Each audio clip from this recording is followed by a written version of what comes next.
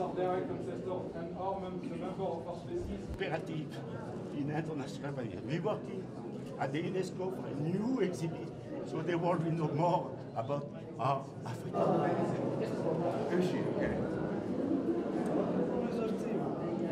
Lucy, you know, is a symbol, is an icon. And Lucy will stay. And one day I will be not anymore in such a, but Lucy will stay forever for the humanities.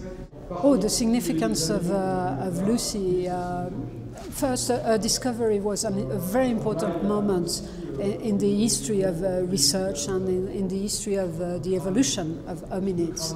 Uh, so, and, and Lucy showed to us that our common ancestor was, was African. So it was truly a major discovery of the 20th uh, century.